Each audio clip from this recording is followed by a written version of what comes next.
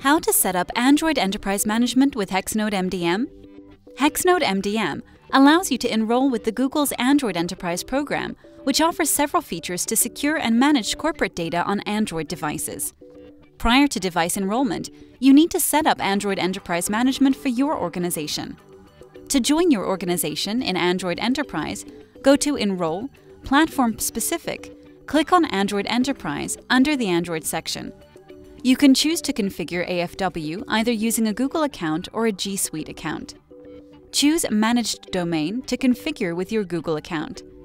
AFW configuration using G Suite account will be discussed later.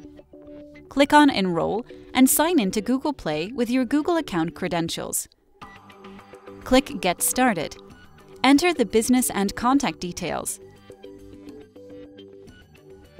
Accept the agreement and click Confirm.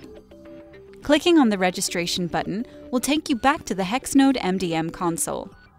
Your organization is enrolled in the program, and now you can start with device enrollment.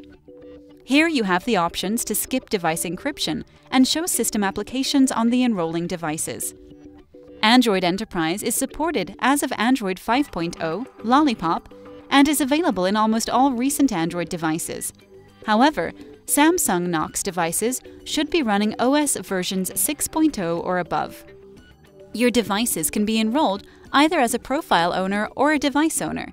That is, the company can manage either a work profile on the device or the entire device.